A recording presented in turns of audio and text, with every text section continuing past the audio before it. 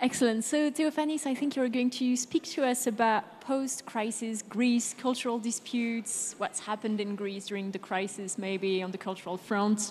All yours. Thank you. Okay.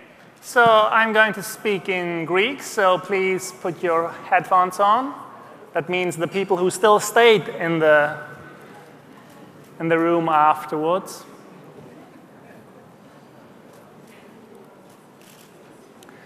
Λοιπόν, ε, θα ήθελα να μιλήσω για αυτό που συνηθίζεται να χαρακτηρίζουμε ως ελληνική ιδιαιτερότητα. Σε τι ακριβώς συνίσταται αυτή η ελληνική ιδιαιτερότητα και πώς σχετίζεται με την κρίση; Και υπάρχει μια ελληνική ιδιαιτερότητα; Πρώτα απ' όλα θα μπορούσε κανείς να μιλήσει και για ιδιαιτερότητα άλλων χωρών στην Ευρώπη. Μπορεί να μιλήσει κανείς, λόγω χάρη, για τη γερμανική ιδιαιτερότητα. Η γερμανική ιδιαιτερότητα, ας μην ξεχνούμε, ότι πριν το Δεύτερο Παγκόσμιο Πόλεμο οι Γερμανοί δεν θεωρούσαν τους εαυτούς τους ως μέρος της Δύσης. Και μετά το Δεύτερο Παγκόσμιο Πόλεμο η Γερμανία θα πρέπει να αντιμετωπίσει το στίγμα του ολοκαυτώματος. Μπορούμε επίσης να μιλήσουμε για την Βρετανική ιδιαιτερότητα λόγω του παρελθόντος της ως αυτοκρατορίας. Μπορούμε να μιλήσουμε αντίστοιχα για την ρωσική ιδιαιτερότητα, η οποία πρέπει να ισορροπήσει μια ταυτότητα μεταξύ της Ευρώπης και της Ασίας. Σε τι έγκυται όμως η ελληνική ιδιαιτερότητα; Η ελληνική ιδιαιτερότητα έγκυται στο γεγονός ότι ενώ η Γερμανία, η Μεγάλη Βρετανία και η Γαλλία έχουν τις επιμέρους διαφορές τους και ιδιαιτερότητές τους, έχουν ένα κοινό σύνολο κοινωνικών πρακτικών. Και η ιδιαιτερότητα της Ελλάδος έγκυται στο ότι διαφοροποιείται ακριβώς ως προς αυτές τις πρακτικές. Ποια είναι λοιπόν η ελληνική ιδιαιτερότητα; Πρώτον, έχουμε μία απροθυμία συμμόρφωσης ως προς τους νόμους. Έχουμε μία δυσκολία υπακοής σε κανόνες. Έχουμε μία έλλειψη σεβασμού ως προς τον δημόσιο χώρο και το φυσικό περιβάλλον. Και αυτά πιθανώς να πηγάζουν από μία υπέρμετρη αγάπη στην ελευθερία, που, πηγά, που τελικά εκφυλίζεται σε ασυδοσία.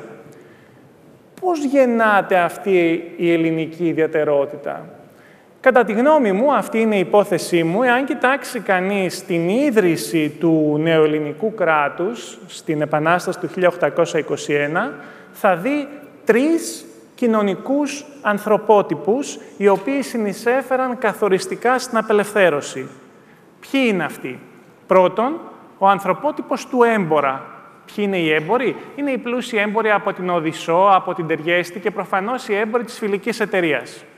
Δεύτερον, είναι ο ανθρωπότυπος του διανοούμενου. Λόγου χάρη, ο Αδαμάντιος Κοραής, ο Ρήγας Φεραίος. Τρίτον, προφανώς, οι κλέφτες και οι αρματολοί, τα ένοπλα σώματα. Ο ανθρωπότυπος που επικράτησε και διαμόρφωσε το ελληνικό κράτος είναι του ήρωα, διότι το νεοσυσταθέν ελληνικό κράτος διαμορφώθηκε με βάση την Οθωμανική Αυτοκρατορία και το σύστημα διοίκησής της από τους προεστούς. Και οι προεστοί ήταν εκείνοι οι οποίοι είχαν χρηματοδοτήσει τα σώματα των αρματολών. Δηλαδή ο Έλληνας κατανοεί τον εαυτό του με βάση τον ήρωα. Και τι χαρακτηρίζει τον ήρωα; Το πάθος, η αυτοθυσία, η αγωνιστικότητα, η μαχητικότητα. Και όχι μόνο αυτό, ότι δηλαδή ο Έλληνας κατανοεί τον εαυτό του με βάση το πρότυπο του ήρωα, αλλά και το κράτος των νεοειδρυθέν το ελληνικό, επειδή συνεχίζει κατά κάποιον τρόπο την Οθωμανική Αυτοκρατορία, προσλαμβάνεται από τον Έλληνα ως εχθρικό. Δηλαδή, ο ηρωισμός του και η αγωνιστικότητά του στρέφονται ενάντια στο κράτος. Αυτό είναι η ελληνική ιδιαιτερότητα που εκδηλώνεται σε πολλά σημεία στην ελληνική ιστορία. Λόγου χάρη, στο Δεύτερο Παγκόσμιο Πόλεμο εμείς γιορτάζουμε την 28 Οκτωβρίου, την επέτειο του όχι και όχι την απελευθέρωση της Ελλάδος, την οποία απελευθέρωση γιορτάζουν πάρα πολλές άλλες ευρωπαϊκές χώρες. Γιατί, Γιατί ο ήρωας χαρακτηρίζεται από την άρνηση, από την αντίσταση. Αργότερα στη μεταπολίτευση, ο Έλληνας αποτυγχάνει να αρθεί στο ύψος των περιστάσεων και να γίνει ήρωας, διότι δεν αντιστέκεται στο καθεστώς της δικτατορίας. Αυτό κατά κάποιον τρόπο του δημιουργεί ένα αίσθημα ανεπάρκειας και ντροπής που το υπεραναπληρώνει με μια υπεραπαναστατικότητα στη μεταπολίτευση. Αυτή η υπεραπαναστατικότητα στη μεταπολίτευση και η αυτοκατανόηση του Έλληνα ως ήρωα δημιουργούν ένα πρόσφορο έδαφος για τον λαϊκισμό. Έτσι λοιπόν από την αυτοκατανόηση του Έλληνα ως ήρωα οδηγούμαστε σε μία από τις πολιτισμικές αφετηρίες της κρίσης. Αν τα πράγματα όμως όντως έχουν έτσι, τότε πώς θα έπρεπε να προχωρήσουμε εφ' εξής; Η απάντηση ή κάτι που θα μπορούσε να μοιάζει με απάντηση βρίσκεται στην ιστορία. Στον έαντα του Σοφοκλή, αφού σκοτωθεί ο Αχιλέας, γίνεται μία μάχη για το ποιος θα πάρει τα άρματα του Αχιλέα.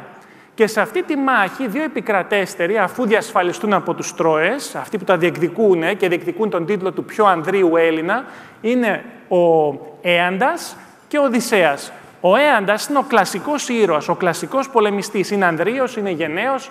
Ο Οδυσσέας, από την άλλη, είναι περίεργος τύπος. Δεν ήθελε καν να πάει να πολεμήσει την Τρία. Έκανε τα, το παν για να μην εμφανιστεί και διακρίνεται κυρίως για την ευφυΐα του. Στο τέλος αυτός που θα πάρει τα άρμα του Αχιλέα είναι ο Οδυσσέας. Ο Οδυσσέας συνιστά ένα νέο πρότυπο, πολύ διαφορετικό από το πρότυπο του ήρωα, από το οποίο αργότερα θα γεννηθεί ένα νέο πρότυπο, το πρότυπο του πολίτη, ενός ανθρώπου που βασίζεται στην ευφυΐα του και όχι στην ανδρεία του, που βασίζεται στο νου του και όχι στο πάθος του. Πιστεύω λοιπόν σήμερα ότι το αρχέτυπο του Έλληνα είναι ο Οδυσσέας, ο πολυμήχανος Οδυσσέας και όχι ο Αχιλέας. Έχοντας καταφέρει σήμερα να προσπεράσουμε τον λαϊκισμό, να αντισταθούμε στις ειρήνες του, ο δρόμος για την Ιθάκη εξακολουθεί να είναι μακρύς. Πιστεύω όμως ότι θα τα καταφέρουμε και μας εύχομαι καλοτυχία. Σας ευχαριστώ πολύ.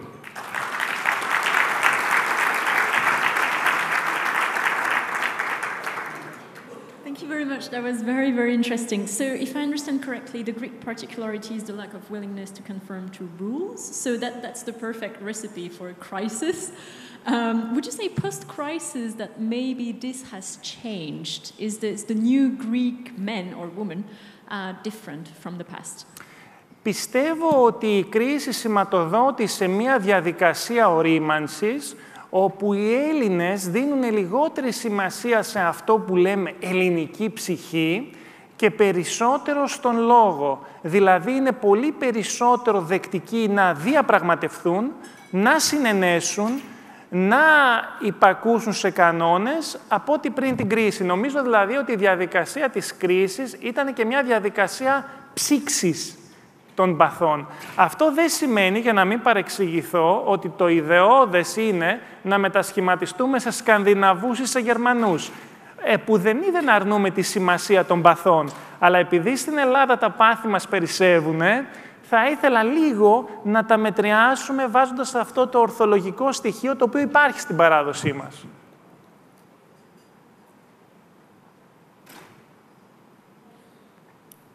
You very much. Um, and one final question, maybe, because I know we need to, to move on to the next panel, but when you describe the men types in the Greek society, so the merchants, the scholars, and the warriors, how about women, maybe? What role did women play in Greek society, and what role do you, do you think they play today, and has this changed through the crisis?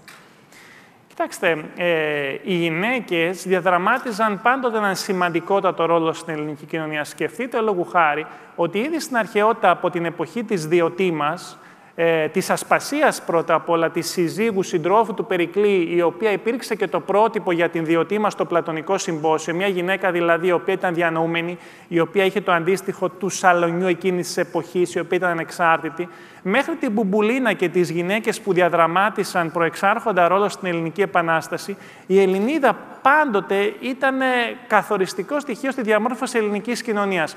Περιέργως, όταν συζητούμε την ελληνική κρίση, μιλάμε πάντοτε για τον Έλληνα ή κατά το κοινό λεγόμενο για τον Ελληνάρα, βάζοντας στην άκρη, θέλω να δω πώς μεταφράσετε, θα μεταφράσει Ελληνάρα εδώ, λοιπόν, ε, αλλά βάζουμε πάντοτε στην άκρη την, ε, τη λειτουργία των γυναικών σε αυτή την κρίση. Πιστεύω λοιπόν ότι έχει υποτιμηθεί και η αρνητική συνεισφορά των γυναικών στην κρίση, όσο επίσης ασφαλώς και η θετική συνεισφορά των γυναικών, ε, των γυναικών στην κρίση. Και αν το πρότυπό μας είναι ο Οδυσσέας, δηλαδή ο νους, τότε είμαι βέβαιος ότι οι γυναίκες μπορούν να προσφέρουν πολλαπλώς, γιατί διαθέτουν πολύ περισσότερο νου από ότι άντρες. Από τις κυρίες της αίθουσας, φαντάζομαι. very much. That was very interesting. In the interest of time, I think we need to move on to the next panel, which I think is going to be chaired by Daniel, because it's going to be a dialogue between young Greeks, Greeks and Daniel Franklin. Thank you very much, and thank you. Ευχαριστώ πολύ, να είστε καλά.